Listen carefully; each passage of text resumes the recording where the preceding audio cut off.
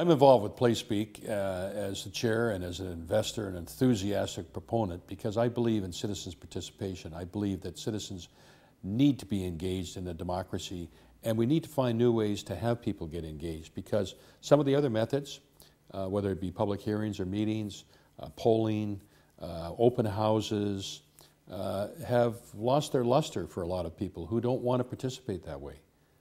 But they will participate through PlaceSpeak because they know that their information is going to be a two-way dialogue between them and their municipal leaders or the development community that wants to propose something, and they're going to have their privacy protected. It's a win-win for everybody.